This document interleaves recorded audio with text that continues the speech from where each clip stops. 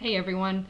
Uh, one of the questions that I get asked a lot that I find people are, are, really interested in is solar power.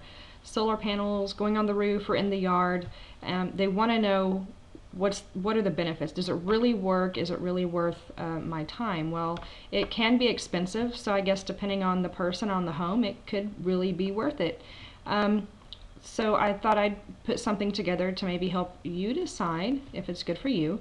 Um, so pretty much when we're talking about a home, you hear the term energy efficiency, uh, which is becoming really popular. So basically you are doing things to your home, such as changing your light bulbs, using Energy Star appliances, uh, sealing it, re-weather stripping it, caulking the windows, all of that that's considered conservation. You're conserving the amount of power that your particular home uses, which you'll notice your meter spin a little slower outside. And then you have solar power. Well, that's creating electricity. You're creating electricity with free from the sun on your roof, which is pretty cool. And so people, you know, thought I'd put it out there. What exactly does it mean? Well, uh, I took a short video of what an electric meter looks like on an older, pretty inefficient home. Um, no one was home. And so let's take a look and see what the electric meter outside looks like with no solar on an inefficient home. Here we go. Cha-ching, cha-ching, cha-ching, cha-ching. So there we have the inefficient home with no one home and no lights on, racking up money that they're going to pay for at the end of the month uh, on their electric bill, which is cha-chinging uh, every second.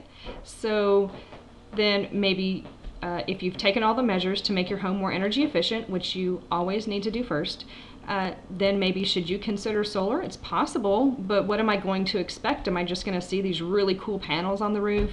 Uh, is it really going to create that much electricity? Well, yes, it really can. And yes, the meter really does turn backwards. So here we have a uh, newer home that is built highly energy efficient. Actually, it was built to the Environments for Living Platinum level. Um, and it has some solar on the roof. So what was that meter doing today? Let's take a look. You see it? You see it? You see it?